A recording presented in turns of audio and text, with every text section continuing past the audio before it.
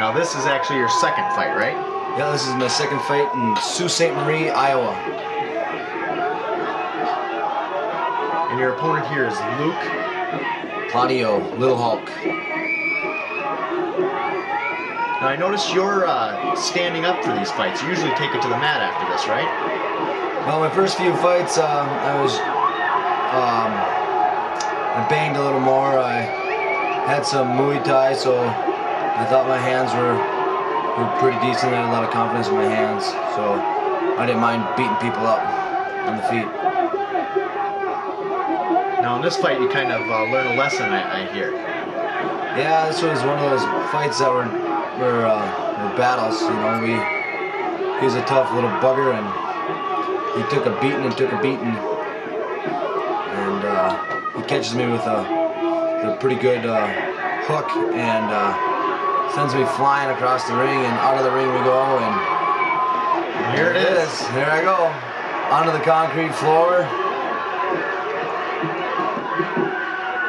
Now, now according to the rules, you had some time to recover from this because you went out of the ring. Is that right? Yeah, they uh, they gave us some time to recover, and he uh, his uh, corner um, was fixing his uh, wounds. He had some cuts. His that's your lovely wife yelling. Is that right? That is my wife. She's always been a big supporter of you, I hear. Oh yeah, she's great.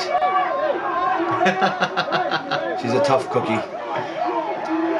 Now this Luke, he has, uh, he now is a Ring of Fire fighter. Is that right? Yeah, he uh, he's down to 155, and he holds the Ring of Fire uh, 155 pound title.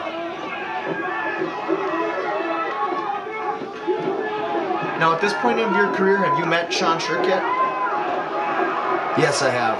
In fact, right now, Tom Schmitz in my corner. He's a Minnesota Martial Arts Academy guy. This was this was his show that he was putting on down in Iowa, and uh, he was cornering me for this fight. This was just at the very beginning of my uh, Minnesota Martial Arts Academy career. Um, really hadn't worked that much with Sean yet.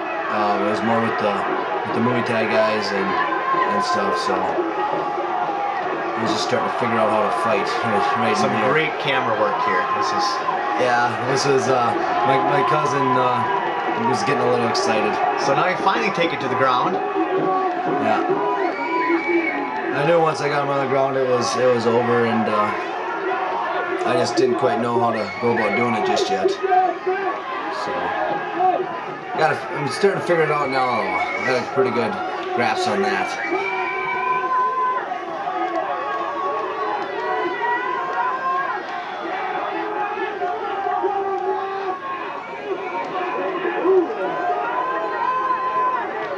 You have a few fans there. It looks like.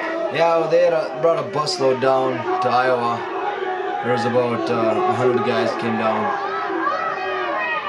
Okay, now it looks like you're gonna do a arm lock. Yeah, it's a V-lock. I was I was working here. That was like the only submission hold I knew at the time. It looks like you don't know it real well.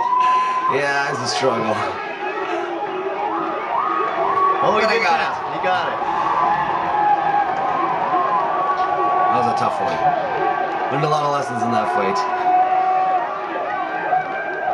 Oh, you're a gracious winner, I see. That was I was telling my uh, drunken buddy to get off the ring. Actually. Oh, okay, okay. Looks like you were telling Luke to get out of the ring. No, no, no.